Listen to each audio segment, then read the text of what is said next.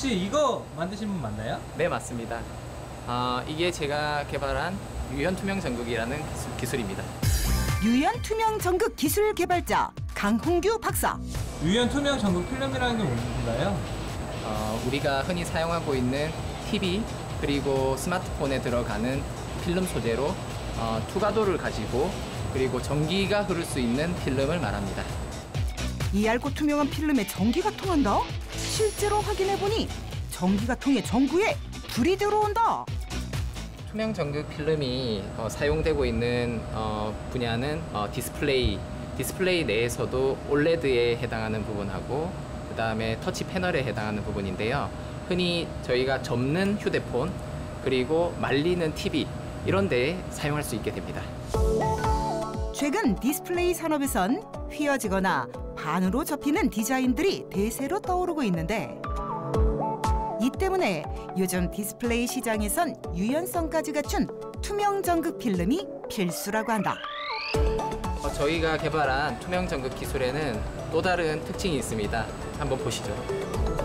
무엇을 보여줄지 궁금해지는 순간 갑자기 필름을 들고 구겨버리는 기술자? 인정사정 없이 구겨버린 필름 이래도 되는 건가요? 필름을 이렇게 구겨도 됩니까? 아, 예, 네, 괜찮습니다. 이렇게 구겨도 어, 전기가 통할 수가 있습니다. 기술자의 말을 그대로 믿기엔 구겨져도 너무 구겨져 버린 필름의 상태. 그런데 전기선을 연결하자 신기하게도 여전히 전기가 통하는 모습. 구겨져도 전기를 통할 수 있다는 게 저희 기술의 어, 특징입니다. 어, 일반적으로 사용되고 있는 투명 전극은 세라믹 소재로 되어 있어서 크랙이 발생되게 됩니다. 그런데 지금 저희의 기술은 금속을 사용하기 때문에 크랙이 발생하지 않아서 이렇게 전기를 구겼을 때도 전기를 통할 수 있게 됩니다.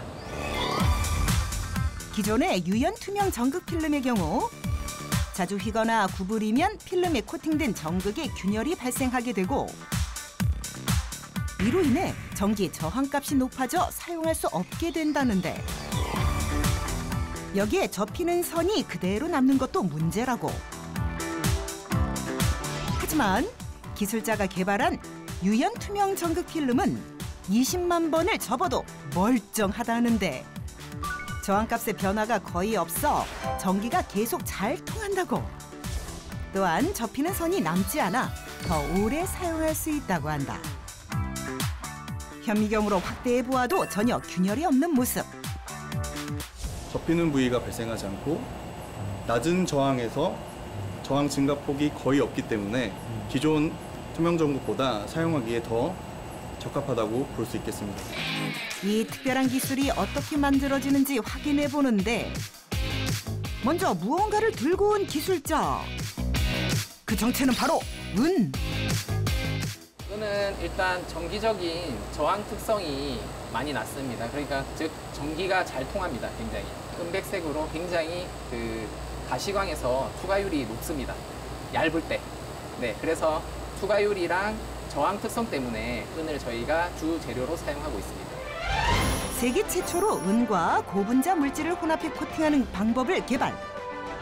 이로 인해 접착력이 강화되어 자주 접거나 휘어도 전기가 통한다는 것.